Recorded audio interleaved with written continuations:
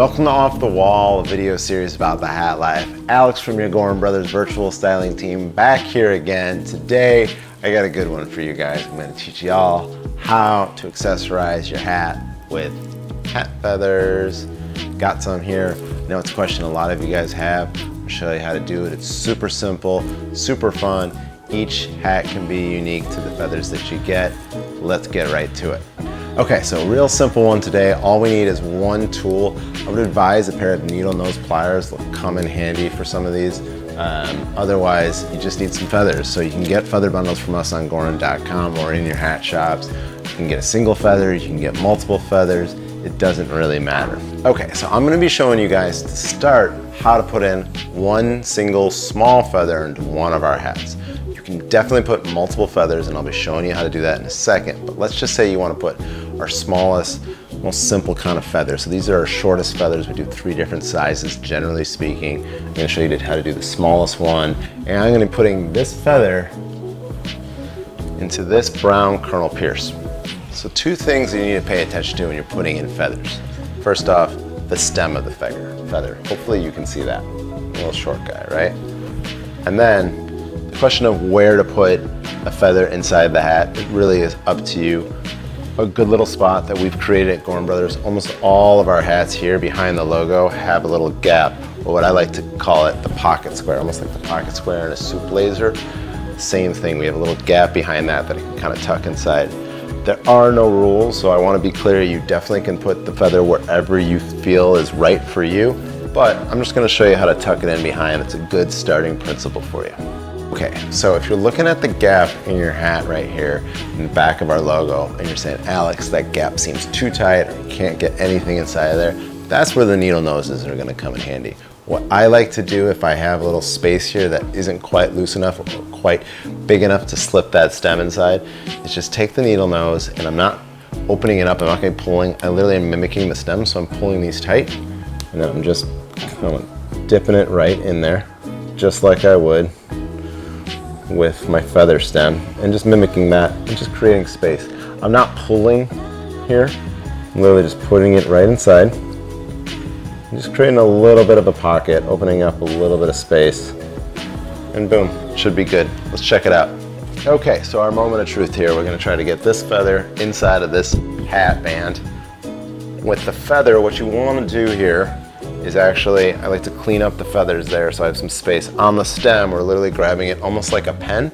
So forefinger and thumb, almost like we're gonna write. And then I'm taking that in that space that I just created in this hat band here. I'm literally just very carefully dropping it in. Now I personally like to have my feathers slightly leaned back but that's just me. There are no rules here. A slight lean back is what I do. You do you. And it's in there. It's good. If you're worried about it sliding out or wondering if it's too loose, give it a quick test. That sucker is not going anywhere right now. Okay, so we've gotten the short feather inside. Now what happens if we want to get a longer feather? Well, this is an example of one of our longer ones that we can do. It's the exact same thing, it's the exact same process.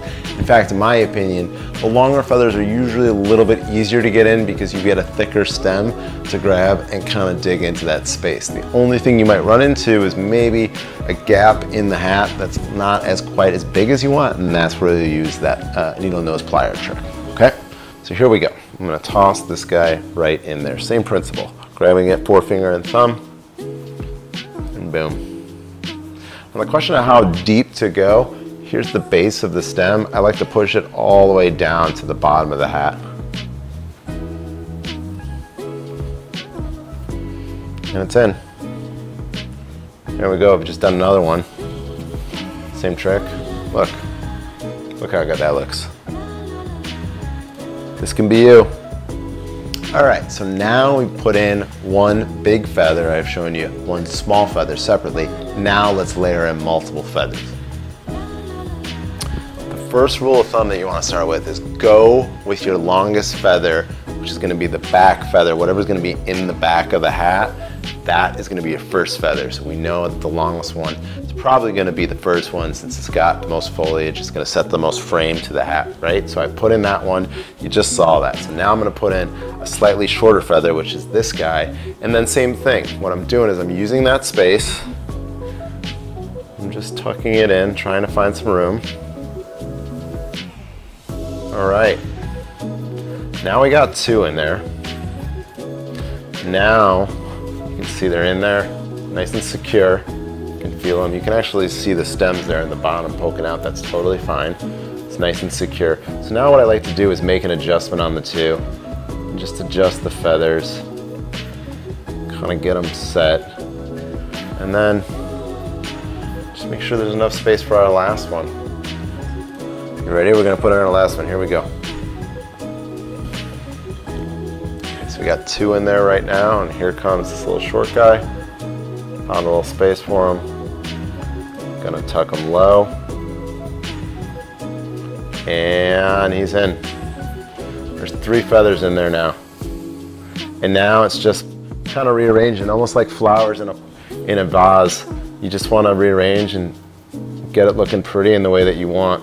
It's going to be different to every person, everybody's taste, and how you want it to look.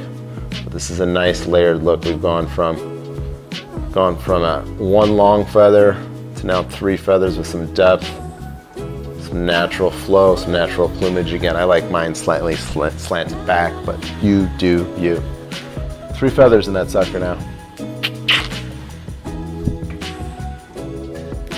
All right, so taking out feathers, right? We put all these in. How the heck do we get them out?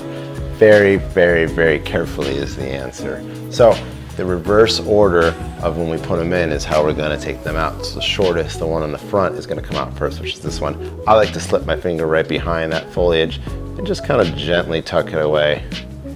You can pull it, you can see it coming right out there. There's one. Here's the second one. Do that finger trip, just kind of try to find the back. Use your thumb and your forefinger, just gently. You don't want to tug, it'll pull the feathers apart. And there it is, there's the stem. There's two. And this last guy. Easy peasy, just pull it right through. And there's three. If you're ever having trouble, you can use these guys, but again, if you're gonna use needle nose pliers, go very, very gently. She's back to where she started.